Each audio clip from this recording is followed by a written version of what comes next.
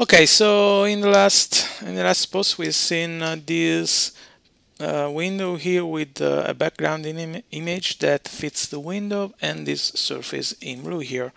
Now let's go on and let's uh, try to make something more like a sprite and to move it on uh, on the window. So let me delete this and um, I just wanted to um, to load an image of a cat and into this cat folder here I want to show you is this one and I want to load this one idle idle one. So idle one and I don't need this and this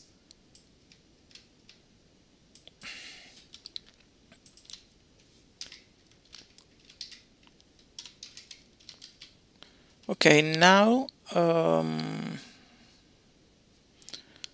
as I call this one cat.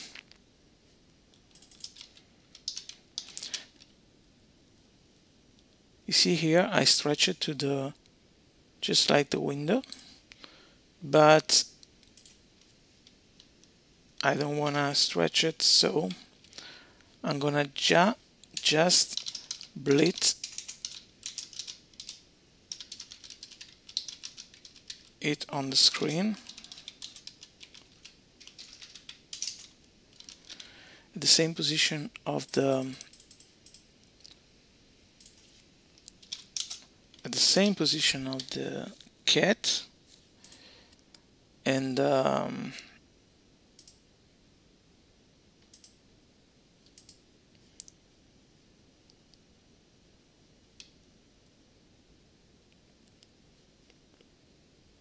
Um,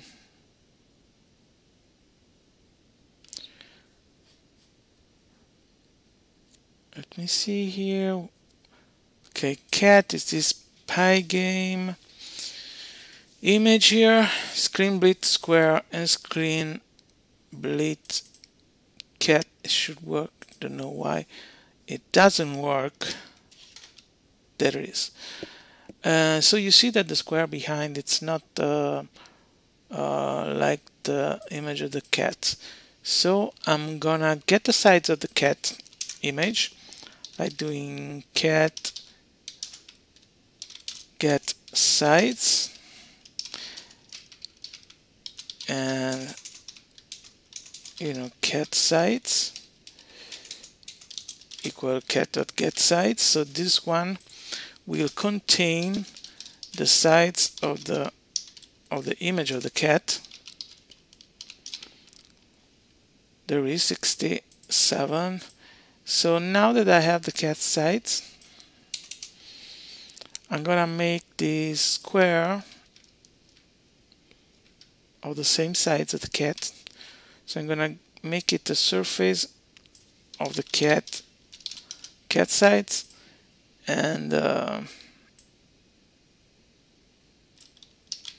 if I wanna avoid making too much I, okay I make it this one and so now you see that it, it has the same sides.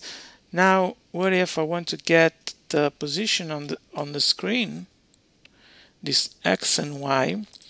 To make this I wanted to create a, a simple class called cat with the uh, x and y.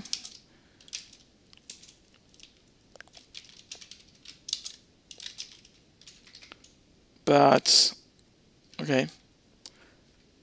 Let's make it very simple for now.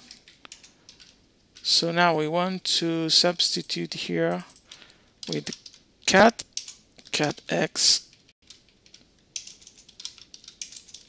and cat dot y. Now this class is simple a name that can that has two attributes that can be you can have access to with a dot. So cat.x is 100 and cat.y is 100. So now you see that they all fit together and they are here. So the next thing that you want to do is to move this this thing here and um, we want to before the pygame.display updates before the while loop we are going to create a pygame.time.clock object and fix the frame rate this way with clock.tick to 60 so now to move to move it after the quit statement here you're gonna say that for event in pygame dot event dot get if event type equal pygame um, dot key down if event key dot key is equal to pygame dot k right? We want to move our cat so cat dot cat dot x um, plus equal 1 then we must let's see what happens. Equals and equals you see that when I press the left the right arrow it moves of just one pixel we will see how to make it move until I press the key right and just one time. But let's add also the left button that will be minus equal 1. So right and left. See, it goes right and left. If we want to be more visible, let's make it 10.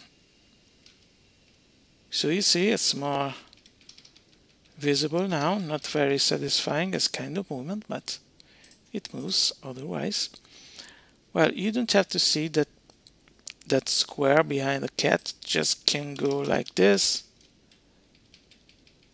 Okay, the square we will use it in another video, see what we can do with that surface behind.